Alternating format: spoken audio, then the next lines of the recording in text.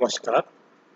आज हम बात करेंगे वीपीटी के आधार पे कॉम्प्लेक्स कंपाउंड्स में मैग्नेटिक और ज्योमेट्रिक करेक्टर की व्याख्या। यानी बैलेंस बॉन्ड थ्योरी के आधार पे वीपीटी के आधार पर हम कॉम्प्लेक्स कंपाउंड में मैग्नेटिक व ज्योमेट्रिक करेक्टर की व्याख्या कर सकते हैं। इसके लिए ये एग्जांपल लेकर हम बात करें।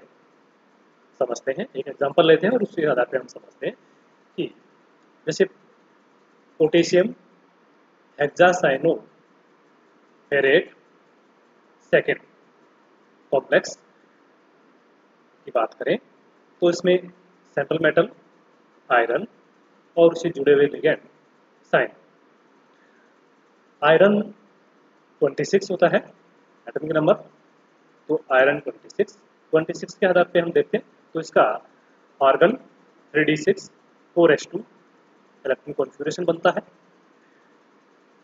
और आयरन प्लस टू स्टेट में है यहाँ पे उसमें स्टेट प्लस टू है, इसलिए यहाँ से दो इलेक्ट्रॉन फोर एस टू वाले डोनेट करने के बाद रिमूव होने के बाद ये आयरन प्लस टू स्टेट में आता है।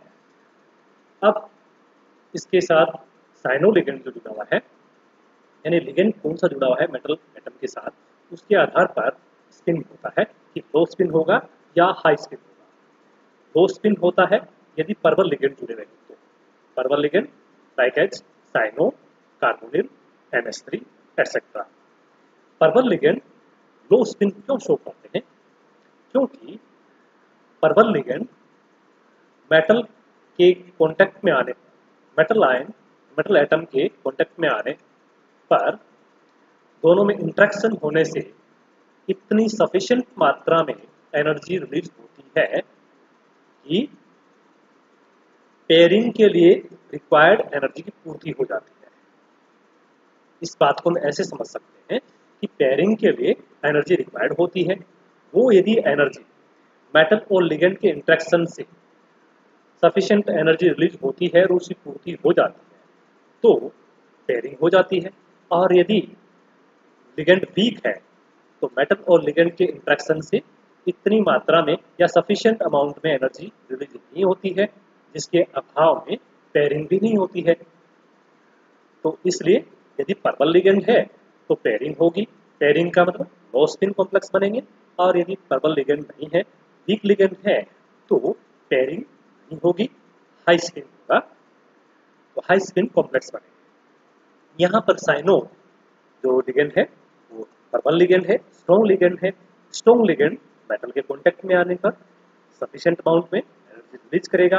एनर्जी रिलीज़ होगी तो वो एनर्जी पेयरिंग के लिए रिक्वायर्ड एनर्जी की पूर्ति कर देती है, जिससे पेयरिंग हो जाती है।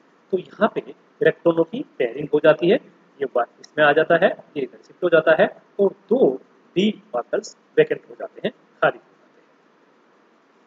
तो अब यहाँ पे छह जो लिगेंड है साइनो लिगेंड है, उनके लिए वैकेंट ऑर्बिटल मेटल ने अवेलेबल करा दिए। यूटी भी यही कहता है कि मेटल अपने कोऑर्डिनेशन नंबर के बराबर वैकेंट ऑर्बिटल्स अवेलेबल कराता है लिगेंड तो यहाँ पे आयरन की कोऑर्डिनेशन नंबर छः है तो छः वैकेंट ऑर्बिटल्स अवेलेबल करा आयरन ने अब यहाँ पे छः साइनो लिगेंड जुड़ जाएँगे पे अब अब यहाँ पे जो हाइब्रिडाइजेशन बनता है, वो दो बी के, एक एस और तीन पी के। तो D two S P three D two S P three यानी डी टू यानी लोअर एनर्जी वाले हाई एनर्जी वाले यहाँ पे इन्वॉल्व हो रहे हैं, यानी लोअर सेल्स इन्वॉल्व हो रहे हैं तो लो स्पिन आ रही है यहाँ पे दैट पर्वत जिसके कारण ये ओक्टाहेड्रल से। शो करता है। D two S P three hybridization हो गया। ज्योमेट्री डायहेड्रल हो गई। और अब यहाँ पे इसके पास इलेक्ट्रॉन कोई भी इलेक्ट्रॉन पेयर्ड नहीं है अनपेयर्ड नहीं है। सबके सब इलेक्ट्रॉन पेयर्ड हैं। यदि इलेक्ट्रॉन सभी के इलेक्ट्रॉन पेयर्ड है तो वो कॉम्प्लेक्स या स्पेसिस डायमैग्नेटिक होगा। और यदि उसमें अनपेयर्ड इलेक्ट्रॉन प्रेजेंट है तो वो पैरामैग्नेटिक होता है अनुचुंबकीय होता है। यहाँ पे कोई भी इलेक्ट्रॉन अनपेड नहीं है, सब के सब पेयरिंग फॉर्म में है। पेयर्ड इलेक्ट्रॉन है, इसलिए डायमेंटिक होगा। तो ज्योमेट्री इसकी ऑक्टाहेड्रल हो जाएगी hybridization D two S three हो जाएगा और ये डायमेग्नेटिक हो जाएगा, इससे मैग्नेटिक करेक्टर डायमेग्नेटिक हो जाएगा।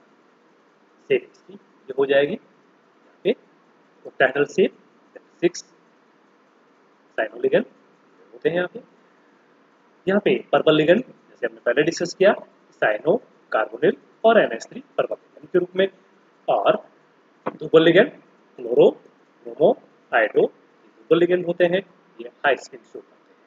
एक और एग्जांपल लेते हैं तो थोड़ा सा डिफरेंशियल शो करता है, थोड़ा डिफरेंट एग्जांपल भी है।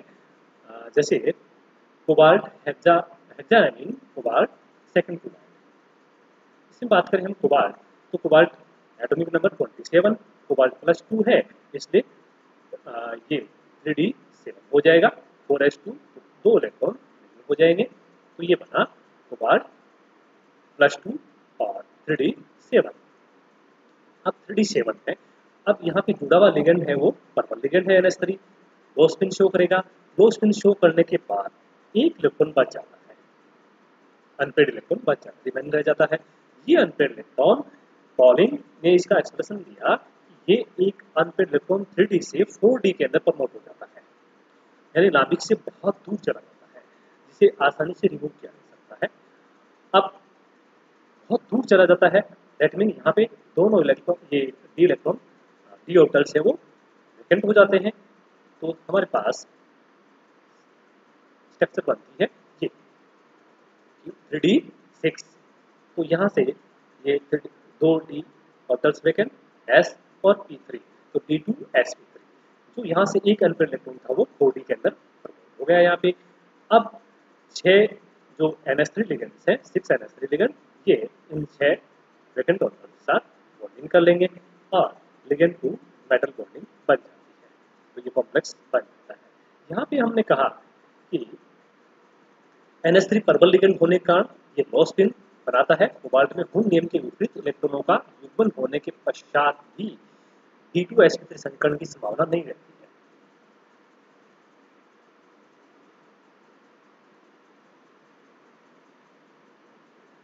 तो ये डी टू एस संकरण की संभावना होती है। लेकिन मैग्नेटिक वेक्टर के आधार से जो है वो लो स्पिन कॉम्प्लेक्स बनाता है। और पॉलिन में क्या आता है इसके बारे में कि थ्री डी इलेक्ट्रॉन एक्साइट होकर फोर तक ऑर्डर में चला जाता है। नाभिक से बहुत दूर चला जाता है जिससे इजीली रिमूव किया जा सकता है। इस कारण संकुल परबल अपचायक होता है। परबल अपचायक इलेक्ट्रॉन दोनों रिडक्टेंट के रिड्यूसिंग एजेंट वो होते हैं, जो किसी का रिडक्शन कर दें और रिडक्शन यानी इलेक्ट्रॉन असर यानी किसी को इलेक्ट्रॉन डोनेट करना तो इलेक्ट्रॉन डोनर होते हैं, वो रिड्यूसिंग एजेंट होते हैं। तो यहाँ पे ये भी एक परबल अपचायक के रूप में परबल रिड्यूसिंग एजेंट के रूप में स्ट्रॉन्ग रिड्यूसिंग एजेंट के रूप में बिहेव करता है तो इस प्रकार। इसके शेप की बात करें हम तो टाहेडल हाइब्रेशन की बात करें वेस्ट थ्री और इसमें एक अनपेड इलेक्ट्रॉन परसेंट है इसलिए ये पैरामैग्नेटिक है। इस प्रकार हम पीपीटी के आधार पे जो कॉम्प्लेक्स कंपाउंड है, उनकी ज्योमेट्री और उनके मैग्नेटिक बिहेवियर की व्याख्या कर सकते हैं एक्सप्लेन कर सकते हैं। Thank you